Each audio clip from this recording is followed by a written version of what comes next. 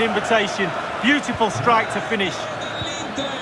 Blistering first half display, and just look at that score. Physically strong and secure on the ball. Zobnin. Sobolev. Kayev. Well, not quite what he wanted to do with the pass.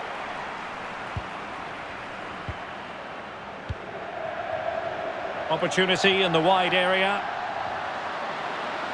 Will he play it in? Oh, that is a majestic goal! Falling home with precision and style. Superbly done.